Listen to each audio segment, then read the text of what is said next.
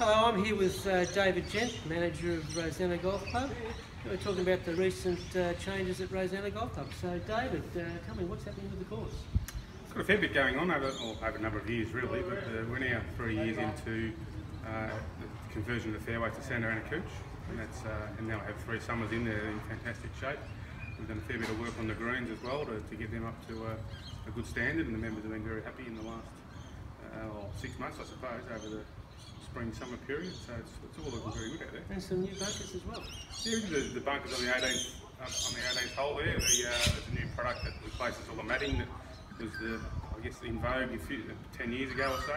Um, it's a new asphalt sort of product that um, it, it keeps the bunker in great nick all year round and um, protects it from uh, rainfalls and things like that. So it's done really well and the members are pretty happy with it. Take a little while to settle down, but um, it's going pretty well. So the course is good.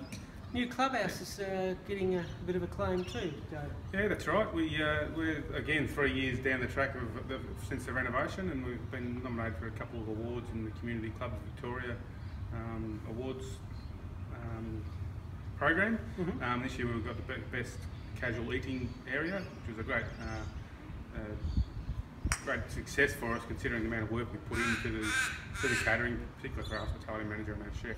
A lot of effort's gone into achieving um, a great um, outcome for our members.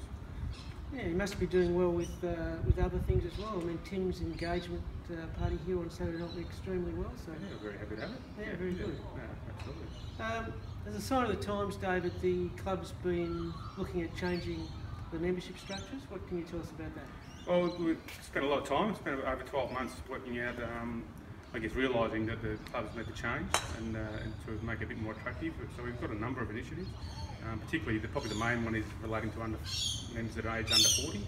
Um, we're far more competitive now, and um, and uh, that's that's been quite successful and very popular. Um, Rory certainly likes it. Rory likes it. Yeah. That, that's great. That's great.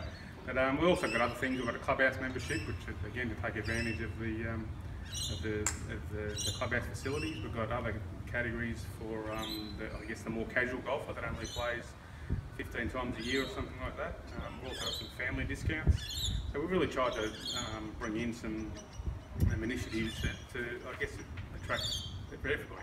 So it's obviously the challenging environment and membership, but um, that's, that's, the plan. We feel like we've got a lot of uh, lot to offer pretty much everyone. Certainly a tough time for a lot of golf clubs, but uh, I've always thought that Rosanna, the real strength of Rosanna was the uh, membership. Uh, and uh, think uh, if anyone's out there looking for a, a club to join, uh, you could, uh, you could do well to look at Rosanna. The clubhouse is lovely, the course is coming along, it's a lovely membership. Thanks, David. All right, thank you.